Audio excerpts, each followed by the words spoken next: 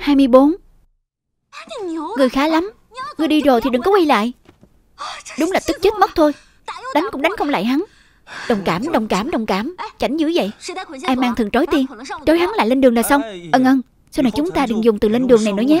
Nghe ghê lắm. Nếu các người đều không sợ chết Phải đi bằng được thì Cũng không phải là không có cách. Cách gì? Cô, cô nhìn ta làm gì Ta là người đầu tiên hắn muốn đuổi đi đó. Ta thì có cách gì được? Hắn lo lắng cho cô thôi. Cô nói đi. Cô có muốn làm theo kế hoạch không? Nói ra xem thử. Áp sát tay qua đây.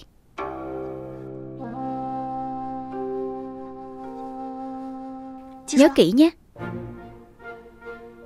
Nhớ thì nhớ rồi. Nhưng mà Có phải mọi người đang giấu ta chuyện gì không? Quyền chân để nói ta biết, Có phải ta quen biết kỹ sư đệ từ trước rồi không? Đệ không nói thì ta sẽ tự đi hỏi. Thôi thôi thôi. Nếu đã như thế, Thì ta nói sự thật cho cô biết vậy. Nương tử. Thực ra, Kỷ Nhược Trần Vẫn luôn thích thầm cô.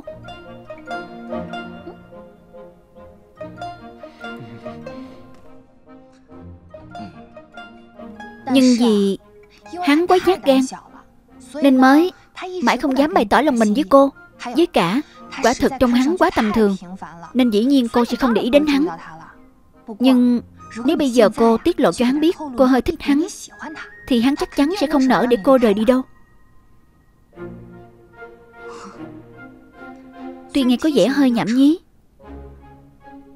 Nhưng cứ liều một phen vậy, Ta đi thử xem. Dĩ nhiên cô chưa thể đi ngay được. Nếu bây giờ cô đi nói thì lộ liễu quá. Hắn thế nào cũng không tin. Thế nên cô nhất định phải chọn một thời cơ lãng mạn.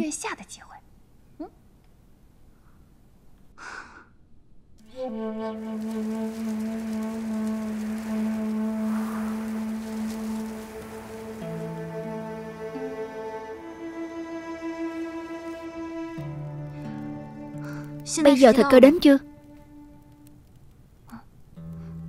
Vậy ta đi nhé.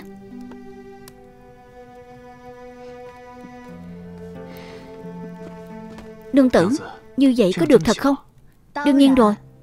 Điều mà kỹ nhược trần đang canh cánh Chẳng phải là ân ân nhớ lại hắn sao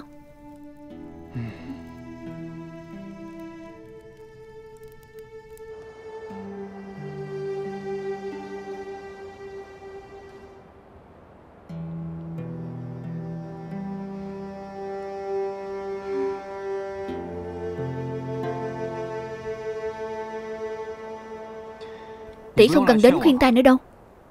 Ta đã quyết định xong rồi. Ta đến không phải để khuyên ngươi. Ta hiểu nỗi khổ tâm của ngươi. Ta đến để từ biệt với ngươi. Ngày mai ta sẽ về núi Tây Quyền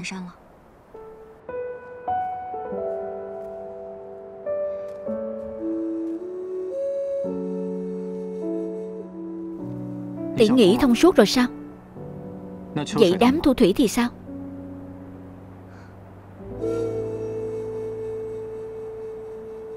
Ngồi với ngươi thế này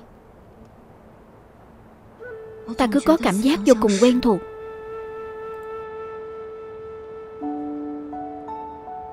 Vậy sao? Lúc nãy ngươi đuổi ta đi Ta thấy rất buồn. Ta bắt đầu thấy đau đầu nhưng điều kỳ lạ là Trong đầu ta hiện lên rất nhiều hình ảnh Đều có liên quan đến ngươi. Trước đây chúng ta, Trước đây chúng ta từng gặp nhau rồi phải không? Ân ân.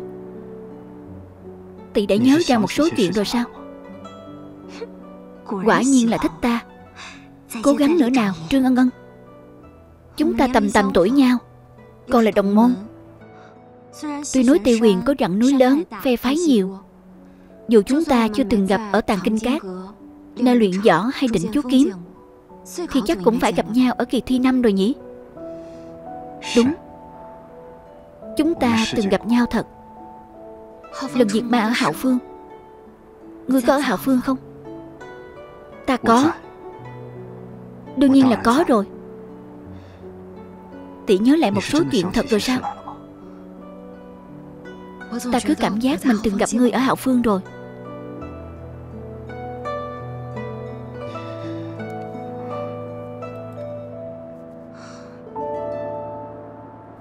Ân ân. Tỷ thực sự nhớ ra chuyện gì đó rồi sao? Hay lắm. Lại bắt đầu tái máy tay chân rồi. Nể mặt hắn chút Mà đáng ngang nhiên vậy rồi. Thôi Trương Ân Ân phải nhịn Chuyện nhỏ không nhịn thì ác hỏng chuyện lớn. Ta cũng không rõ lắm. Chỉ cảm giác như Nhớ ra điều gì đó. Cảm giác như quan hệ giữa ta và ngươi không bình thường.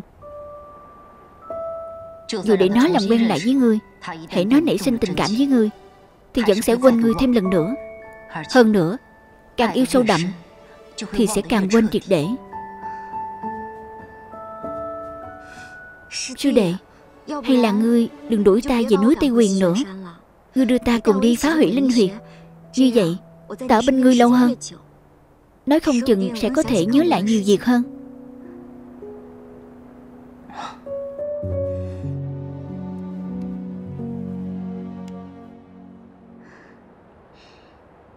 Ân ân Tỷ nói cho ta biết Là ai dạy tỷ giả giờ nhớ lại một số chuyện thế Ngươi. Ngươi không tin ta sao? Ngươi không thích ta nữa sao? Có phải là đám thu thủy không? Có phải không?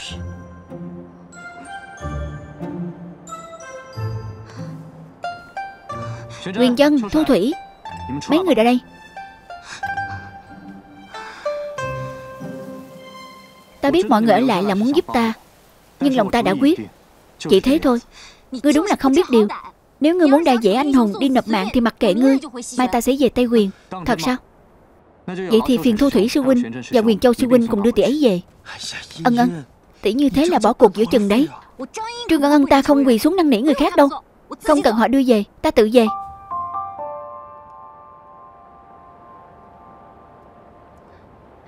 Thế này đi, Để ta đưa cô ấy về núi Tây Quyền Nhưng ta có một yêu cầu. Yêu cầu gì? Ngươi dẫn phu quân ta và bọn họ đi cùng đi. Họ không bị trúng độc. Lần này thì ngươi không có lý do gì để từ chối rồi đúng không? Vẫn là nương tử hiểu ý ta. Vậy thì phiền nương tử đưa ân ân về Tây Quyền trước. Thế thì quyết định vậy đi. Đợi sau khi ta phá hủy hết linh huyệt Chúng ta gặp nhau ở núi Tây Quyền. Gặp gì mà gặp? Ngươi đối xử với ta như thế Chúng ta cứ quên nhau giữa chốn giang hồ đi đi. Ân ân, ân ân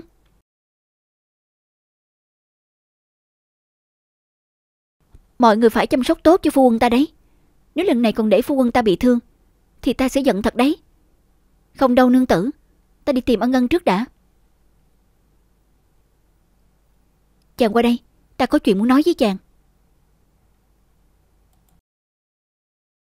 Nhược Trần Huynh Ngày mai phải xa nhau rồi. Huynh thật sự không đi tìm ân ân nói chuyện chút sao? Thôi, Ta không muốn để nàng ấy khó chịu hơn nữa. Nhược Trần Huynh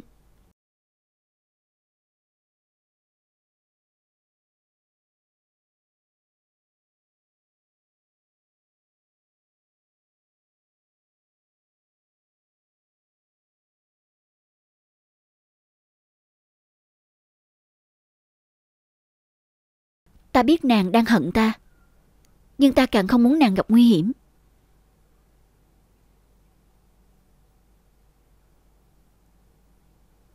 Bây giờ Linh huyệt gần nhất chúng ta là ở trong trại thành. Chúng ta tranh thủ xuất phát ngay đi. Sao vậy, Nhược Trân?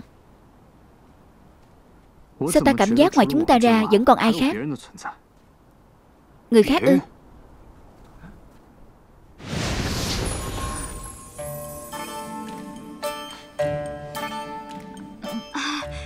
Kỹ sư đệ, Ngươi quả nhiên có võ công cao cường. Đến bí thuật thiên hồ của ta mà cũng nhận ra. Hèn gì sư phụ lại giao nhiệm vụ, Hủy linh huyệt cho ngươi. Chẳng phải tỷ hứa với ta sẽ quay về núi Tây Quyền sao? Lừa ngươi đó. Chuyện thú vị thế này, Sao có thể thiếu Trương Ân Ngân ta được? Sư đệ, Nếu ngươi không muốn dẫn đi, Thì cũng được thôi. Dù gì ta cũng đã nhớ hết linh huyệt Trên bản đồ ban nãy rồi. Ta có thể tự đi. Trương Ân Ân, Tỷ không giữ cho tính quá rồi đấy. Ngươi gọi ta là gì đấy? Gọi sư tỷ. Đúng là vô lễ. Vậy ngươi có dẫn ta theo không?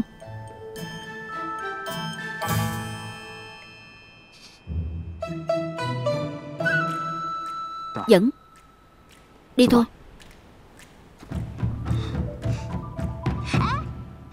Kỹ, kỹ gì đấy? Ngươi, ngươi đợi ta một chút. Ngươi tên kỹ gì ấy nhỉ? Đến tên cũng không nhớ nổi Mà vẫn chạy theo như một con ruồi. Đúng là khiến người khác đau lòng. Chúng đệ tử nghe lệnh. Có. Mấy người các ngươi đến tám phương dị quanh trại thành, Giúp ta bày trận pháp thiên huyền đàn. Những người còn lại đi mai phục xung quanh cổ lâu. Nghe hiệu lệnh của ta. Rõ. Ta phải biến nơi này thành mồ chôn kỹ nhược trần. Trại thành.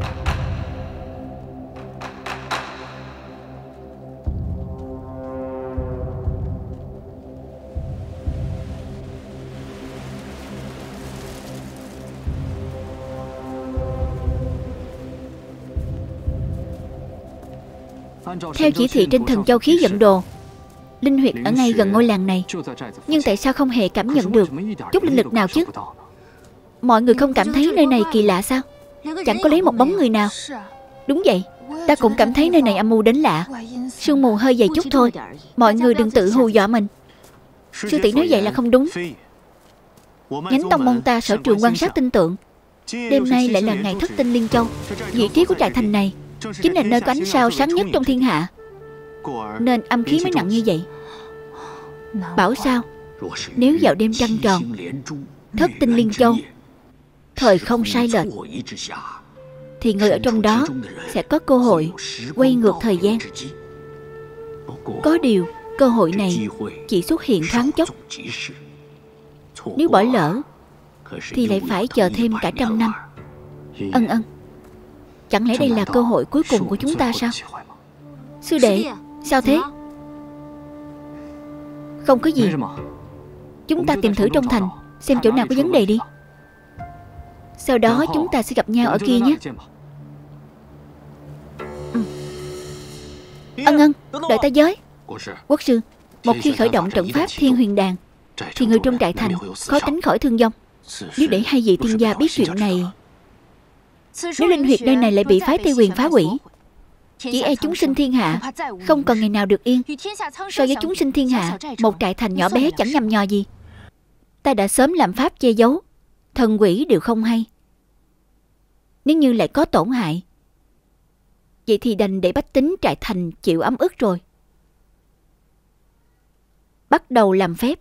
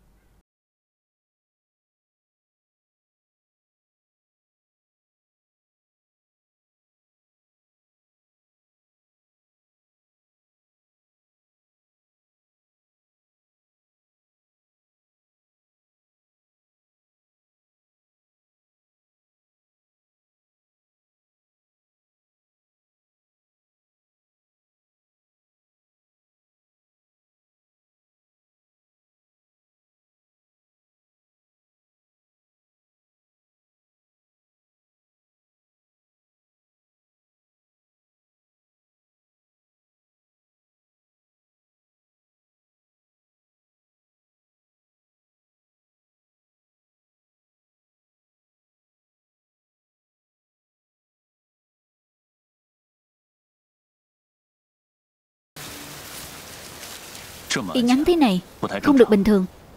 Cổng thành này cũng không ai canh giữ. Sợ rằng có mai phục. Chúng ta phải cẩn thận. Linh, Thúc thúc bảo ngươi đi cùng bọn ta. Quả nhiên rất giỏi nhìn xa trông rộng. Đi phía sau ta.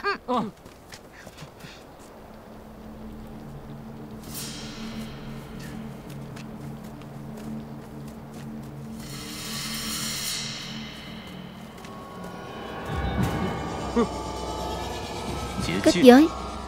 Bảo sao không ai canh giữ? Thanh Y Cô có biết cách giới này không? Hình như ta từng thấy trong sách. Hình như đây là pháp trận thiên huyền đàn của Trinh Võ Quán. Vô cùng thâm độc. Lão tặc này Ra dễ đạo mạo nhưng bụng dạ thì xấu xa. Cứ để ta. Cô không sao chứ? Không sao. Thanh Y tiểu thư đừng dội Để huynh đệ ta đi xem thế nào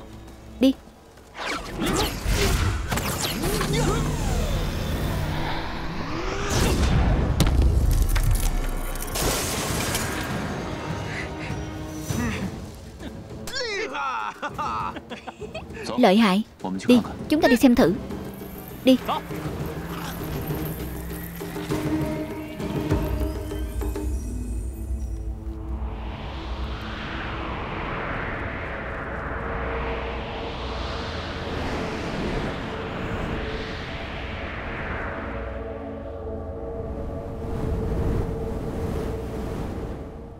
Kỷ Nhược Trần sẽ tới thật sao?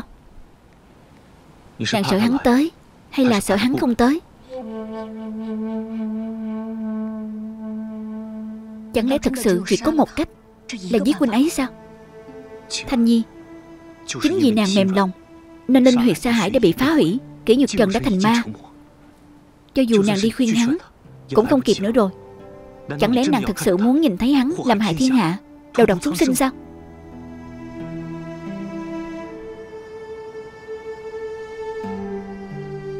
Nếu đúng là vậy Thì quả thực không còn cách nào khác rồi. Dược Trần Hy vọng huynh có thể quay đầu. Công tử. Tỷ tỷ. Công tử. Thanh Y, Linh Long tượng Bạch Hổ. Sao mọi người lại đến đây? Thúc thúc nói mọi người gặp nguy hiểm Nên bọn ta tới đây. Nghĩa khí thật.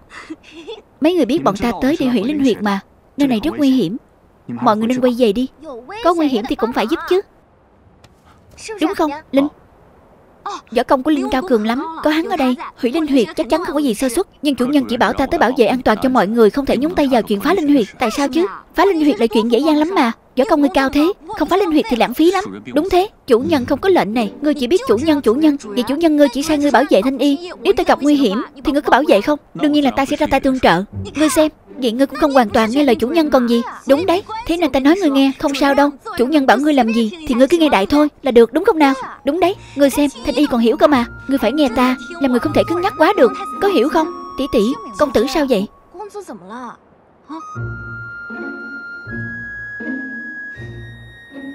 Dạo này hắn cứ lúc nóng lúc lạnh, Kỳ lạ lắm. Đi đi đi, Chúng ta vào trong trước đã. Vào trong rồi tính, Đi.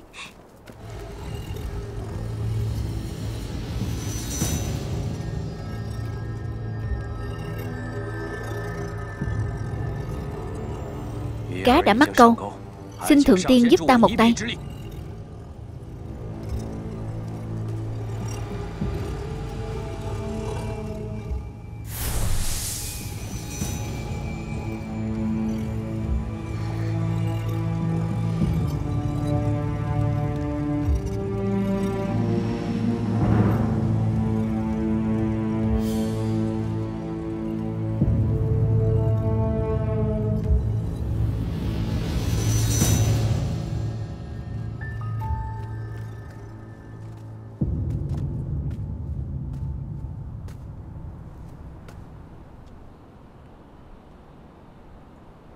Thanh Nhi. Kỷ Nhật Trần ở ngay bên dưới. Nàng đã nghĩ kỹ chưa? Quốc sư đã bày pháp trận. Cứ giao cho máy xử lý đi. Thanh Nhi Xem ra nàng vẫn không thể nào nhẫn tâm ra tay với Kỷ Nhật Trần. Cho ta suy nghĩ thêm một lát. Được không? Ta hứa với nàng chỉ cần chỉ Nhược Trần không hủy linh huyệt, Ta tuyệt đối sẽ không làm khó hắn. Nhưng nếu hắn tiếp tục u mê không tỉnh ngộ, Thanh Nhi, Ta hy vọng nàng có thể quyết đoán.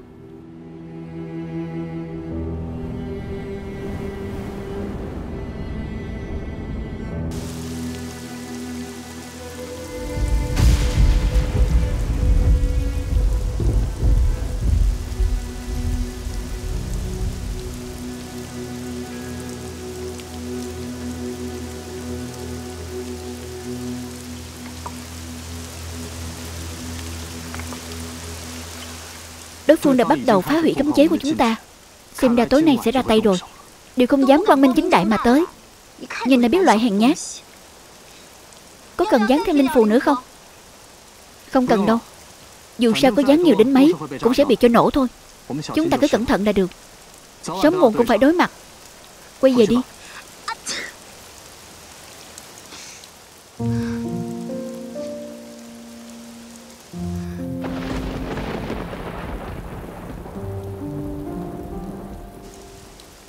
Nếu mà Ân nhớ ra cảnh tượng chúng ta cùng tránh mưa. Chỉ sợ sẽ lại đau đầu. Ngươi còn ngay đó đó làm gì? Mau mang cái ô qua đây. Tên này làm sao thế nhỉ? Kỳ lạ thế không biết. Ân ân. Cảm ơn ngươi nhé, Linh. Vẫn là người đáng tin.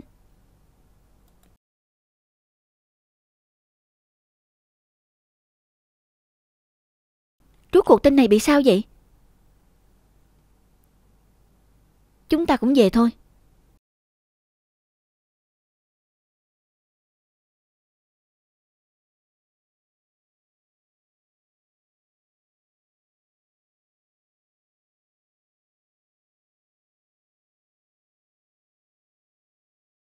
Sao mình lại thấy người này quen thuộc vậy nhỉ?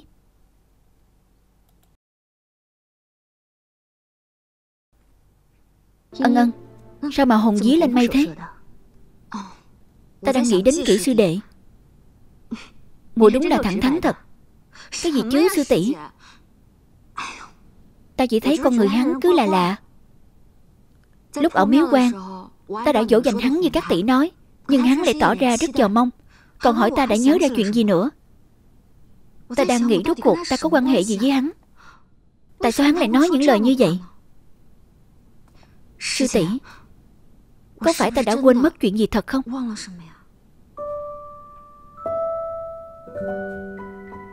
Thạch cơ nói Hắn thích ta. Rốt cuộc có thật không vậy? Ta cũng không rõ lắm. Hắn ở ngay bên ngoài. Hay là muội tự đi hỏi đi. Ta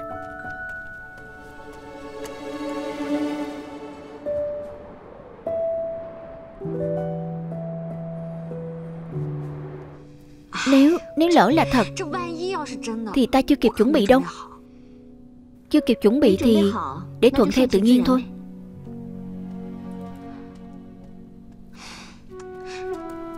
Sư tỷ Nói tới thuận theo tự nhiên Thì lúc đó tỷ thủy thích tỷ. Sao tỷ lại không thích hắn? Hắn theo đuổi tỷ lâu như vậy Nước chảy thì đá mòn mà. Không phải đạo lý này. Nếu ta có cảm tình với hắn Thì mới là thuận theo tự nhiên Nhưng trong lòng ta Hắn cũng giống như Nhược Trần và Quyền Dân. Cho dù thuận theo tự nhiên cả trăm năm Thì kết quả cũng vậy mà thôi. Vậy tỷ Thủy thích tỷ Thì có cảm giác gì? Phiền phức. Phiền phức. Ta thì lại không thấy kỹ sư đệ phiền phức. Nếu còn nghĩ không ra Ta sẽ bức bối mà chết thật mất. Tự tìm phiền não Hắn vẫn luôn thích thầm cô Nhưng vì hắn quá nhát gan Nên mấy mãi Không dám bày tỏ lòng mình với cô。Biết rõ là không thể Mà vẫn cố mới là dũng khí Đúng không sư tỷ Đó mới là phong cách xử sự trước nay của muội Ta ra ngoài hóng gió một lát。Người mình thích Là người được ngươi cẩn thận nâng niu Cất giữ ở nơi này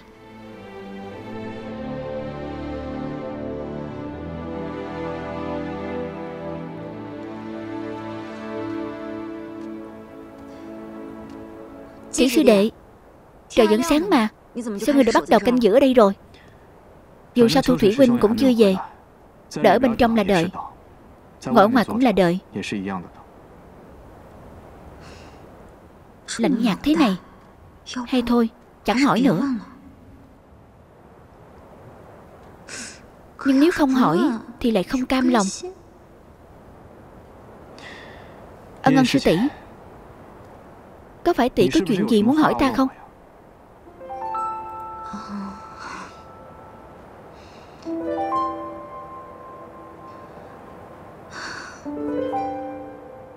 Có phải ngươi thích ta không?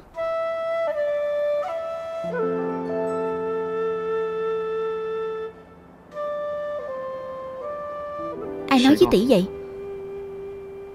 Lần trước Thạch Cơ nói Cô ấy nói ngươi vẫn luôn âm thầm thích ta Mấy ngày nay ta quan sát. Cảm thấy đúng là có khả năng đó. Bọn họ nói linh tinh thôi. Nếu như ta có hành động gì Khiến tỷ hiểu lầm Thì cho ta xin lỗi. Sau này ta Tuyệt đối không làm vậy nữa. Sao có thể chứ? Rõ ràng ta nhớ động thiên tâm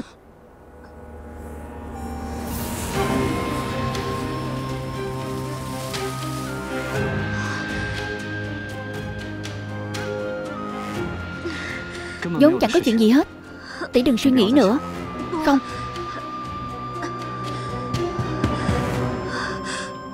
Không thể nào. Động thiên tâm. Là ngươi. Đúng không?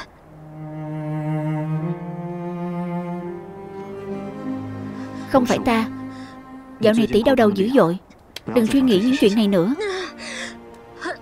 Rõ ràng ta nhớ. Ân ân Cô lại đau đầu à. Nào ta dìu cô vào trong nghỉ ngơi.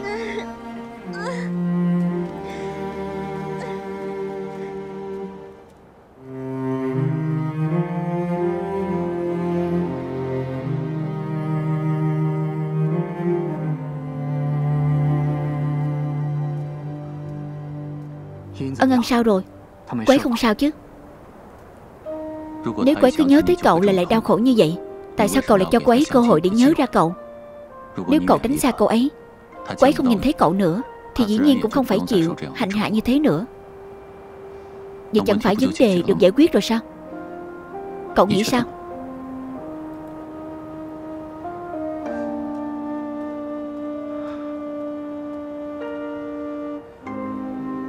Cổ lâu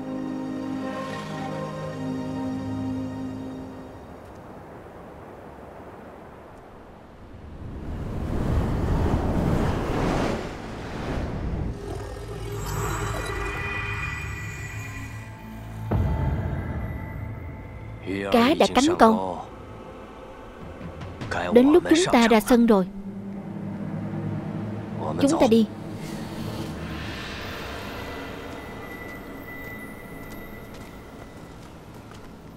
Tiên giáng trần Cố tiên tử Linh huyệt liên quan tới an nguy của tam giới.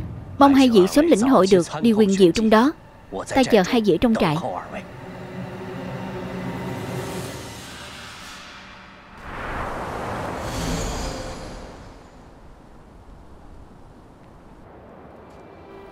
Nếu cô ấy cứ nhớ tới cậu là lại đau khổ như thế. Tại sao cậu lại cho cô ấy cơ hội để nhớ ra cậu? Nếu cậu tránh xa cô ấy Cô ấy không nhìn thấy cậu. Thì dĩ nhiên cũng không phải chịu hành hạ như thế nữa. Vậy chẳng phải vấn đề được giải quyết rồi sao? Cậu nghĩ sao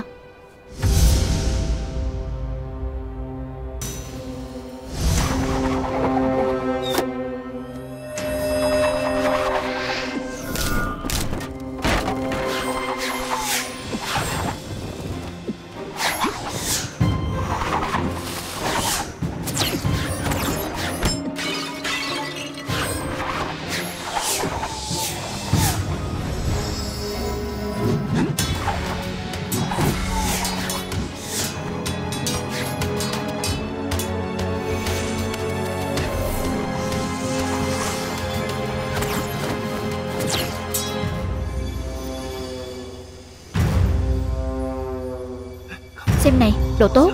Đúng vậy, đúng không? Thứ gì vậy? Đằng trước đã bị Lan Nhiên may phục Đánh lén bằng ám khí. Mọi người cẩn thận. Không hay rồi Nhật Trần quynh bị đánh lén bằng ám khí. Chúng ta phải đi tiếp ứng quynh đấy. Ân ân tỷ Ân ân Ân ân tỷ. Linh Tỷ tỷ còn chưa khỏi đau đầu Nhưng mà đi bảo vệ tỷ ấy. Vậy còn cô? Ta có long trượng bạch hổ mà. Yên tâm có bọn ta mà. Đúng đúng. Vậy cô phải cẩn thận. Ta sẽ về ngay. Được. Sư tỷ Chúng ta đi. Mang đi Đi đi đi. Sao tỷ lại tới đây? Tỷ hết đau đầu rồi à? Đỡ nhiều rồi. Đồ đồ rụt cổ. Mau ra đây. Trốn trù, trốn lũi thì còn gì là hảo hán.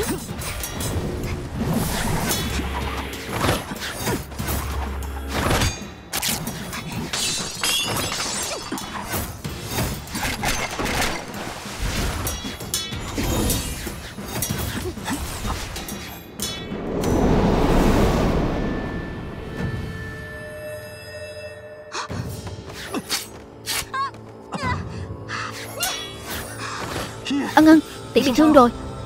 Cậu đi quấy đi.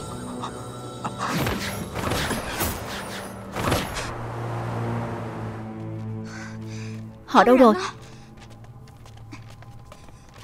Nào, ngồi xuống. Tỷ sao rồi? Không ngờ đám người này lại tẩm độc lên ám khí. Đúng là tàn ác mà. Có độc.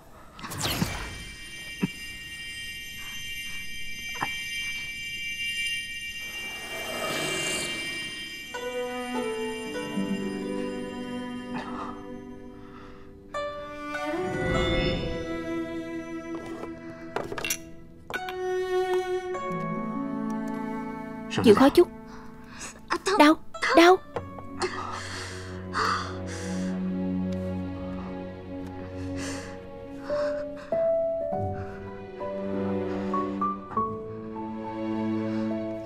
Con người ngươi đúng là kỳ lạ. Cứ toàn lúc thì nhiệt tình, Lúc thì lạnh nhạt. Xin lỗi, Là ta không bảo vệ tốt cho tỷ. Ta nói rồi, Không cần bất kỳ ai bảo vệ ta. Như vậy là được rồi. Cảm ơn. Kỳ lạ. Ban nãy rõ ràng tiếng động phát ra từ bên này mà. Sao không thấy công tử đâu nhỉ? Ta còn tưởng kỹ nhược trần tìm được trợ thủ lợi hại đến đâu. Thì ra chỉ là mấy tên tiểu yêu. Thanh đi tiểu thư, Vừa nãy lúc vào thành, Chúng ta đã khởi động súng hỗn nguyên một lần. Bây giờ không tập hợp được đàn chân nguyên nữa. Đúng đúng đúng. Lùi ra sao? Để ta. Đừng có mạnh miệng. Biết điều thì cút mau. Nếu không đừng trách rồi hỗn độn của ta không có mắt. Liệu cô không trơ mắt nhìn hai vị thiên sư đổ máu tại chỗ chứ. Thanh, Thanh đi tiểu thư Cô mau chạy đi. Đừng lo cho bọn ta Cứu kỹ thiếu hiệp quan trọng hơn. Thanh đi tiểu thư Cô đừng mắc bẫy.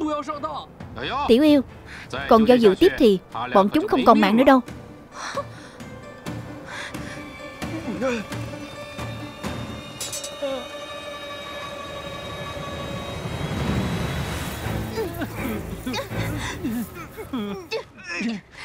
Ngâm Phong, Ngươi đường đường là tiên giáng trần Mà lại nói giáo cho giặc. Ngươi giúp kỹ nhược trần phá hủy linh huyền Mà lại nói giáo cho giặc. Ta chỉ làm tròn chức trách của tiên mà thôi. Chức trách của tiên, Ta hỏi ngươi, Ai đã diệt trừ yêu vật hoàng xà?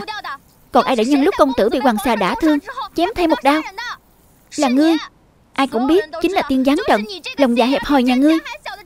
Thanh đi tiểu thư, Sương sương là được rồi, Cô đừng nói gì nữa. Ngâm Phong Ngươi thả bọn ta ra. Ngâm Phong. Chỉ là một tiểu yêu nhỏ bé thôi. Mong huynh giơ cao đánh khẽ. Ta đến để bảo vệ linh huyệt Đợi quốc sư tóm được kỹ nhược trần Ta sẽ thả cô ta ra.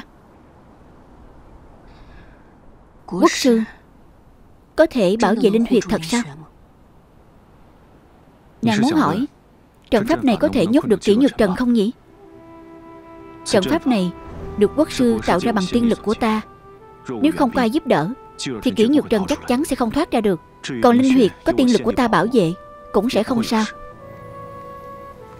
Thanh Nhi Đừng bảo đến nước này rồi Mà nàng vẫn lưỡng lự nhé. Bây giờ linh huyệt vẫn còn. Nhược trần chưa làm gì cả. Ta chưa tận mắt nhìn thấy hắn làm điều xấu Nên khó mà kết luận Chứ không phải do dự thì ra? Thanh Nhi nghi ngờ ta gây bẫy kỹ nhục trần. Trong lòng nàng, Ta chỉ đến vậy thôi sao? Ta không nghi ngờ huynh. Chỉ là Rõ ràng Nhược Trần biết mình không phải tiên giáng Trần, Có thể sẽ chết ở Hạo Phương, Vẫn đi gánh kiếp, Trừ hại cho chúng sinh. Vậy nên ta không muốn tin huynh ấy sẽ thành ma, Gây hại cho nhân gian. Ta biết Thanh Nhi vẫn còn nhớ những lời ta nói trong cơn giận dữ Với kỹ nhược trần trên bờ sông Hạo hôm đó. Ta thừa nhận Lúc đó ta muốn giết hắn Vì lòng ích kỷ của ta. Nhưng bây giờ Nàng đã biết rõ thân phận của hắn. Ta và nàng cũng đã thuận lợi nhận nhau. Ta đã hết quán giận hắn từ lâu rồi. Nhưng nếu hắn muốn thành ma Phá hủy linh huyệt Thì ta quyết không khoanh tay đứng nhìn Có thể Quỳnh ấy bị ai đó mê hoặc. Kỷ Nhược Trần ở ngay trong thành. Chúng ta sẽ biết.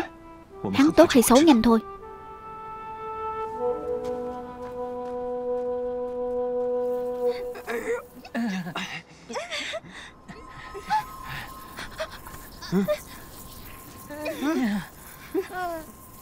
Sao lại đi rồi? Cố tiên tử Cố tiên tử. Cố tiên tử. Cố tiên tử. Cố tiên tử. Ta là thanh y này, Mau thả ta ra. Cố tiên tử. Ta đi xem thử sao nhóm quyền chân vẫn chưa về. Cổ Long.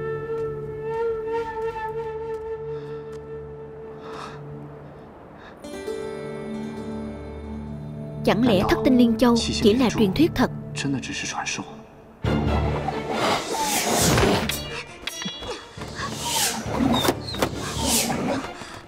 Còn dám tìm đến tận cửa? Ân ân, Tỷ không được ra ngoài nữa. Ngươi tránh ra.